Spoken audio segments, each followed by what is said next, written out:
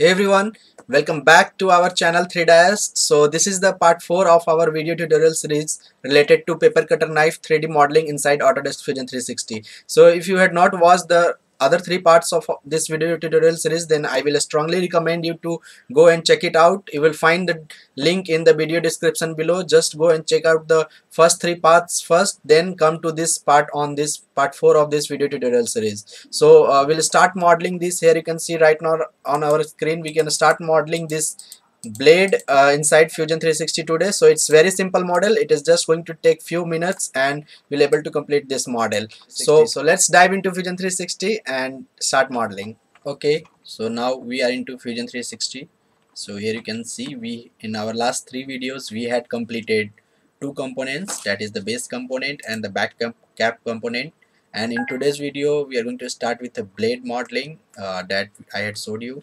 So before getting started I will make sure that here the top component is active because whatever the new component we are going to uh, make that will be the child of this parent component. So we'll start from here. We'll go on to create option here and we'll click on the new component. And I will give it a name blade. So here you can see. And I will press OK so now the blade component has been created created and it is also the active component now. So our next task is to start with the sketch. So I will turn off these two components older components and I will go into the top view. We'll activate the create a sketch from here and we'll select the top plane as a sketch plane. So you can see the sketch plane is active. Also our tools are also active. So we'll start with the center rectangle first. We'll go on to here then we'll select the center rectangle from here. Then I will draw a center rectangle like this. And I will dimension this center rectangle I want to make it 18 millimeters. Then I want uh, I, am not sure about actually the width of this center rectangle but what I can do uh, I will just make a random width because we are not sure. We'll uh, we'll use only those portions that are sufficient for us. So now what I will do I will create one more line from this point to this point like this. So it is on a particular angle and I will create one other line like this.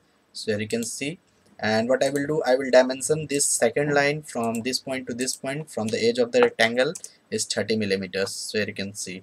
And I will also specify the angle of this line from the horizontal line that I want to keep 60 millimeter 60 degree so here you can see that I had created this line.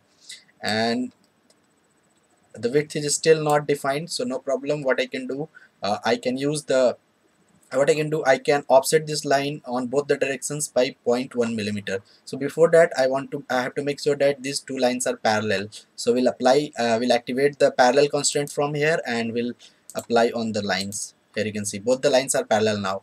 Now what I will do I will use my offset tool. I will select the line and I will make sure that I am offsetting it by a 0.1 0.1 millimeter so this way what will happen? If I offset this line then it will not be uh, touching to both the edges here you can see because it we are just offsetting it uh, in the right direction. So other ways to other way to do is I will create two lines. I will just create random lines. I will not make sure that those are parallel. And then I will apply the parallel uh, constraint from here with the center line. Here you can see it's pretty easy so we had created those lines. Now what I can do I can define the distances by 0.1 millimeter 0.1 millimeter like this. And on the other side also we'll define this distance from the center line 0.1 millimeter. So you can see I had defined those lines. And the next thing is that we'll have to construct this center line to a construction line. So I will just select the line. And from here we we can able to convert that to construction line. And the reason that we had converted that to construction line so this will act as a uh, one single profile. And now what I'm going to do is I will select all the three lines. Here you can see by pressing shift on my keyboard I am able to select the multiple sketches. So I had selected all the three lines. Now I will go on to create option here and will activate our rectangular pattern tool. And in rectangular pattern tool here are the three objects that we had selected. Then the direction for the direction I will select this bottom line. And then in in the extent here we have to make sure that we are we had selected the spacing option here. And so because every time uh, we are doing uh, rectangular pattern spacing is very useful. And now we, we have to provide the quantity. So I want to make sure that uh, we are making 10 number of quantities. So here it is. We had provided 10 number of quantities. So instead of 10 what I can do I can also do seven number of quantities instead of 10 so that will also be enough. And uh, in this direction I just want one quantity and I will make sure that our things are visible. So for that what I can do I can adjust the distance. So this distance I want 10 millimeters and here you can see we are done. So I will just press ok. So this is what we are getting. So now since we know the uh, complete length of our uh, rectangle so up to this point there will be a blade from this point to this point so uh, this is the extra length. So now we can define our rectangle size. So this time I'm just I will just make it 100 or maybe 105 here you can see. So this way we had defined uh, everything. And the next thing is that we also have to create one more hole here. So for that I will create one more circle here. So I will just uh, create a circle like this then I will make sure that this center point of circle and the center of our rectangle must be collinear. So we'll apply this horizontal vertical constraint and then I will define the diameter of our circle. So this will be the diameter of circle and this will be 5 and then I will define the distance of this circle from from the edge. So from this edge to this edge I want to keep it as 8 millimeters. So I will press 8 here. So you can see this or maybe we can we have to reduce it uh, maybe 6 6 millimeters. So you can see this is this is what we had defined. So now I think we are done with it. So now what I can do I can just click on the finish sketch here and our sketch is completed. And the next thing is that now we have to convert that to 3d to look like a blade. So we'll start doing that. So now we'll activate our extrude tool from here and we'll start selecting the profiles. So we have to make sure that we are selecting everything so we'll go on to zoom in on the areas uh, that are very small and we'll select those areas also. So we don't have to miss anything because uh, this is a one single profile. As a one single profile we want to convert this to a as a blade. So I had selected everything. Here you can see. And the next thing is that we have to make it symmetric. So we want to make it uh, extruded in both the directions and the distance we want uh, 0.25 so here you can see we had provided 0.25 distance. So this blade thickness will be uh, 0.50 in to come total from 0.25 this direction and 0.25 towards bottom side. So this is will be 20 total 0.5 millimeters. So and half of millimeters you can say. And we'll press ok so here you can see uh, this is the blade shape that we had created. And the next thing is that we have to uh, create a sharp edge on this corner. So uh, it will it will look like a blade. So for that what we can do we can activate our sketch tool again from here. Then I will select this plane as a sketch plane and uh, what I have to do is I will just project a few of the sketches from this blade. So I will activate my project tool. I will select the profiles that I want to project. Here you can see these th three profiles we need and we'll press ok so the profiles has been projected. If I turn off the body you will able to see. Here you can see. And what I can do now is I will create a, a line like this and I had created something wrong. So I will just double click to select the complete loop and will press delete on my keyboard. I will again create a line from this point to this point like this then I will de define the dimension. I want this to be one millimeter. So you can see I had created a one millimeter of uh, this kind of shape. Then I can just click on finish a sketch and I will drag it like this uh, orbit it like this to see a better view. I will turn on my body. So before turning on my body I will activate my extrude tool. I will select the profile and I will turn on my body.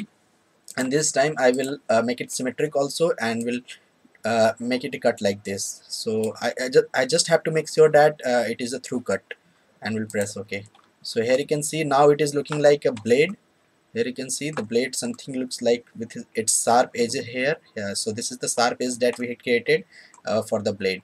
And the last thing that we have to make sure that there are grooves on the top that will able to help in breaking the pieces of this blade. So for that what we have to do we have to turn on our sketch one from here inside uh, that we had created and we'll turn off the body for now. Then we'll activate our extrude tool again.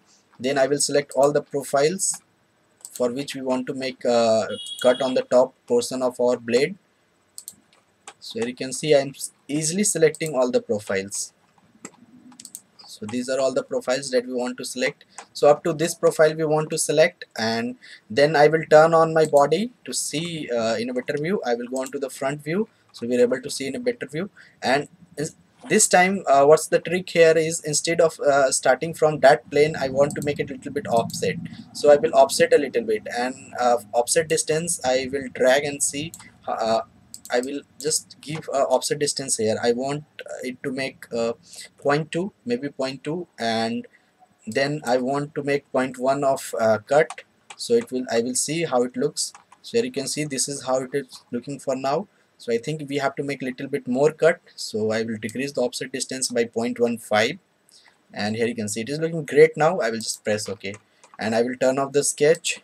And here you can see this is the blade that we had created with uh, lots of pieces. So there are total one two three four five six pieces that you can break in between if you if the edges are not sharp enough uh, for your use. So the other portion of the blade will be ready for use in your projects so this is how you can see we had completed this blade uh, component inside Fusion 360 and if you have any questions or any confusion regarding the process you can just comment below in the video. I am always here to and happy to help you because I had already already provided my discord server uh, link in my video description. So you can also join that and ask me any of the questions related to any of my videos or any of the concerns uh, about your fusion 360 i'm i will always be happy to help you. So guys uh, see you in my next tutorial. So if you are just new to my channel today just uh, don't forget to subscribe to my channel.